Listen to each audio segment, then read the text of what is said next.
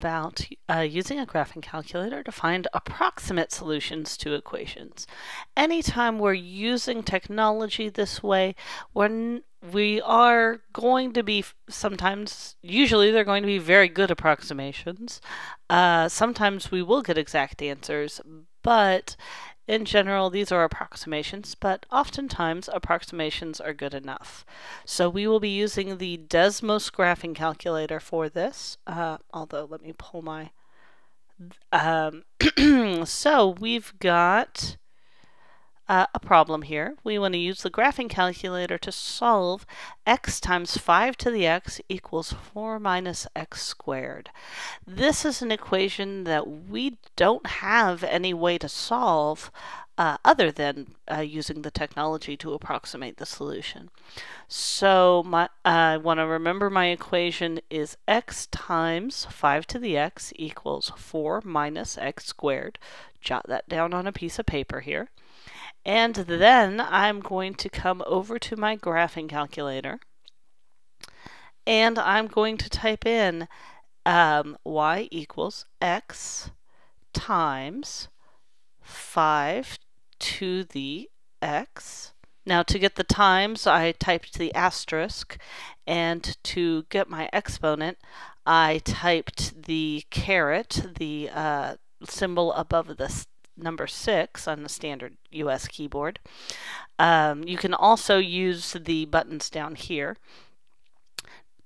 so this is the function y equals x times 5 to the x.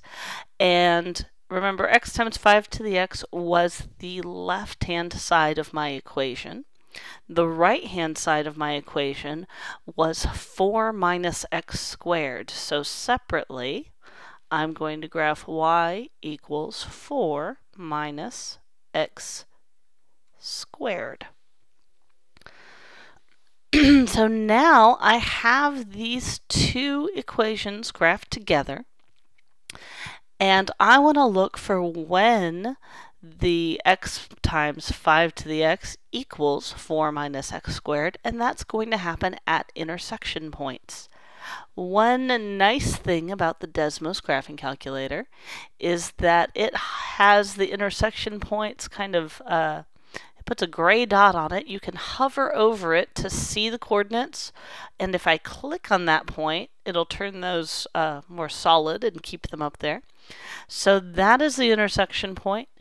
Uh, notice this is very close to the x-intercept. It it does the same thing for x-intercepts, but I want to make sure I click on the intersection point between these two graphs.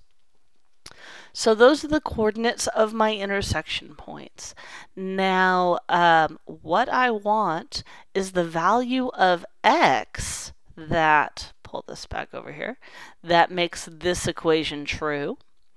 So what I want from the graph is the x coordinates of my intersection points. So my solutions, sorry, are going to be negative 2.019. Now that's an approximation. Uh, they just rounded to three decimal places. And the other solution is going to be 0.844. Now I can tell that this is going to keep getting closer to zero. This one's a parabola, so it's going to continue going down and this one will go up and this one will go down. There won't be any more intersection points. Sometimes you might need to change your zoom in order to uh, get better or get a better view of the graph to make sure that you have all of your intersection points. But those are my uh, solutions. So we'll come back over and just show the answers. So there's no doubt the two solutions to this equation are x equals negative 2.019 and x equals 0.844.